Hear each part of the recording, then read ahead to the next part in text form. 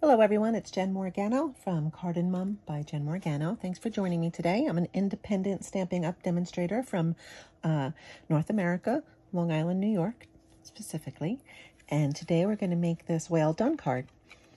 And I was playing with some some items I had bought from the annual catalog release. Um, the kind of stuff that you buy and never use. Well, I'm making it a mission to go through the stuff that I have sitting on my shelf. and one of those items was the brushstroke um, specialty paper. It's three sheets, and I don't know if you can see in this video, but it has this great brushstroked background, how aptly named. You get three sheets. Um, so you can see it's the um, navy. Uh, let's see what colors they are exactly. We have Blushing Bride, Night of Navy, and Soft Succulent. Really, really super pretty. Where's my pink hiding? It's in there. I know you're in here. There it is. Just really, really subtle, but really, really nice. So when I saw the Night of Navy, which might have been the one on the background peeking out at me when I took it off the shelf, I said, ooh, ocean. And I said, ooh, well done. Um, I love this set. It's great. and it had really cool DSP when it came out. Wish they would bring that back. Um, but we're going to use the whale. We're going to use our school of fish and our thanks a ton because everyone loves a good whale pun. so we're going to start. Our card base is going to be four and a quarter by 11. I'm going to score it at five and a half.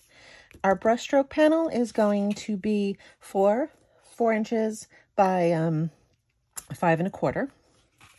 I cut a circle of vellum out using our layering circles, which we're going to stamp our school of fish on. And then you're going to need some scraps of white. So let's get started with our stamping.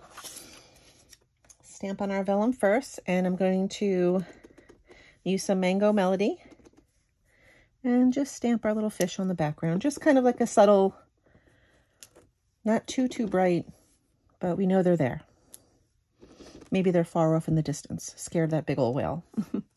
so set that aside to dry. Then on a scrap of basic white, we'll stamp in Mango Melody again, our thanks a ton. Okay, we'll let that dry. We'll, we'll trim that in a bit. Then on our other scrap of white, basic white, We'll do Mr. Whale in Night of Navy. For some reason lately, I'm going back old school, and I want to say not quite Navy. Do, does everyone remember that one? I do. Okay, so we will punch down towards the bottom because we're going to use the punch to go in, so we can come in this way. Very nice little whale, some nice detail on it.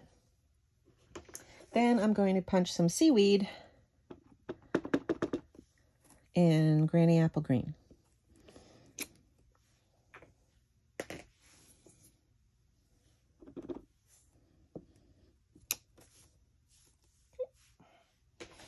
So our of Navy whale is drying. I always find of Navy takes a bit to dry. Um, I'm just going to trim this. And just give it a little bit of a border. You can eyeball it.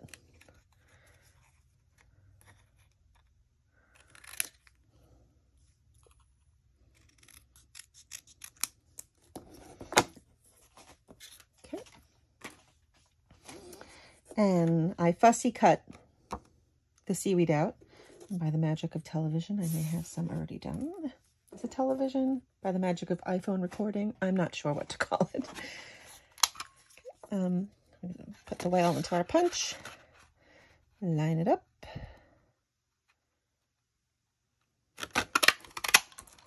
And out we go. Okay. So now we have everything we need to put our card together.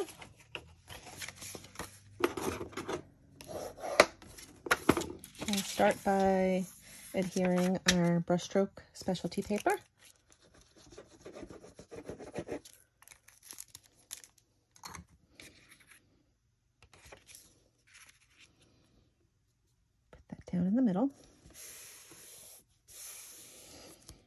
Then I took the larger seaweed piece. I don't know why I put my glue away. I knew I was going to use it again. And I put some glue on it. Not too much because it's thin pieces. You don't want to squirt out. And I kind of put it center right. So center to the right. And what I'm going to do is I'm going to take our vellum piece and just kind of put a line of glue in the middle and put that over. Like that. Then and then what, Jen? Then I'm going to take some dimensionals and put that whale right over that glue dot.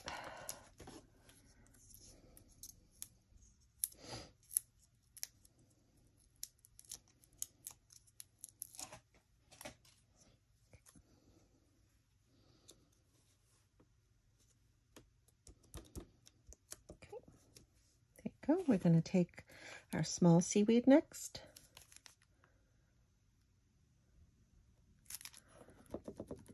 kind of put him down underneath the whale. And our sentiment will prop up with two dimensionals on the back. And I kind of tucked the one little tiny corner underneath the whale. Again, your card, you do what you want. Thanks a ton. Pretty simple, but again, this paper is really gorgeous. I hope you can see it in, in this video. It's really nice, has a nice shine to it. And to finish it off, I took some of our classic matte dots. I used the white ones and just placed a few around. Ooh, my putty got really big there. Ah. see if I can use it.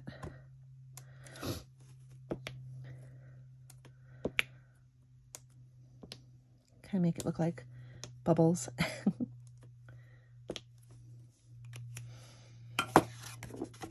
there you go. Thanks a ton for watching. And if you like what you see, please subscribe. You can click the link below underneath this video. I'll also be putting a link to my blog, cardandmum.com.